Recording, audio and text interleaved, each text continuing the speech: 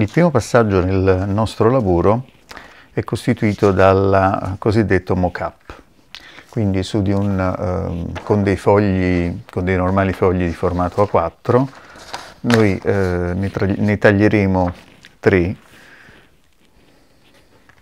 a, con una misura, una dimensione di eh, 12 cm per 24, quindi 120 per 240.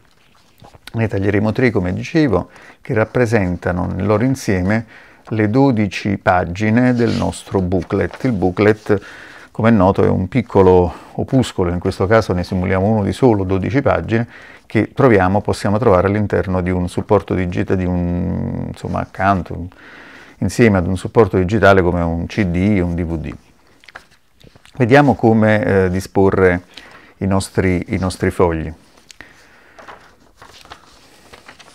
Abbiamo il primo foglio, il primo foglio è costituito diciamo dalla copertina, quindi eh, la pagina 1 e a destra e la pagina 12 a sinistra rappresentano anche la prima e l'ultima pagina della copertina. Questa sarà in seguito, chiameremo questa parte, da questa parte, la bianca, mentre invece questa sarà la sua volta, quando lo andremo a stampare. Quindi Dietro la pagina 12 naturalmente abbiamo la pagina 11, così come dietro la pagina 1 abbiamo la pagina 2.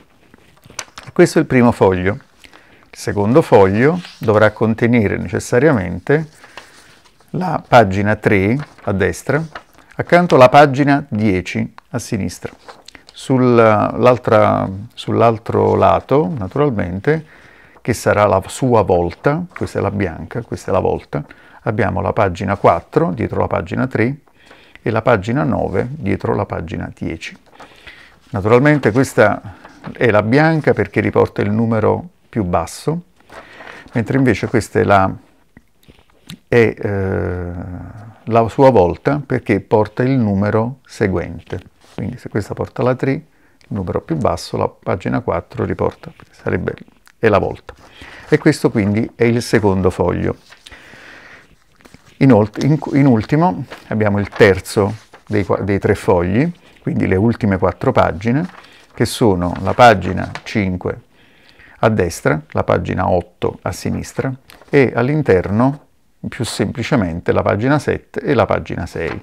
Ora eh, la pagina 5 e 8 e la bianca, la pagina 6, 7 rappresentano la volta.